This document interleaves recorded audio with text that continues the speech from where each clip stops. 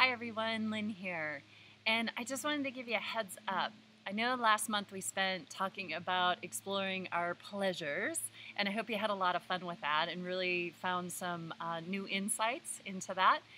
And I've been finding new insights into my business as well. And when I started out wanting to take the work that I know is so powerful and so helpful for women, um, I chose a, a niche to work with, and I wanted to really help business women get their work out in a bigger way and heal the blocks that were stopping them from doing that.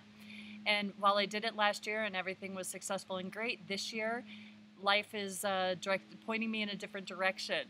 And so I just wanted to share that I am going to be taking this work in a whole new direction. And I hope you'll join me on this journey.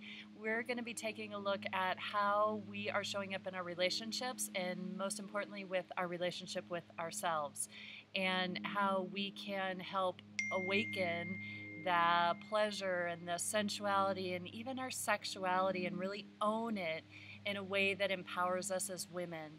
And so um, stay tuned.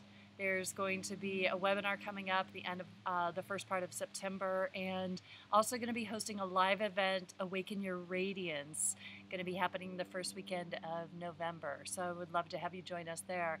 But just wanted to give you a heads up that things will be taking a little different shift away from the whole business aspect of things and more into our own personal relationships. And I tell you what's happened is all the work that I've been doing with my business women have all been around relationships and how they're healing their relationships and it's helping them out in their businesses. So it's still relevant for all of you who are, are still down that business path.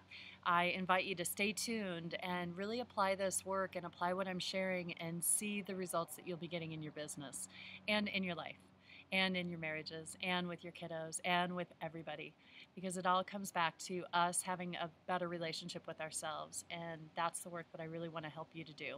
So I hope you'll stay on board and, and stay tuned and um, jump on board when it feels right for you. Reach out if you ever want some help or support. I'm happy to be there for you. So I wish you well and enjoy this day and make it a great one. Take care, everybody. Bye.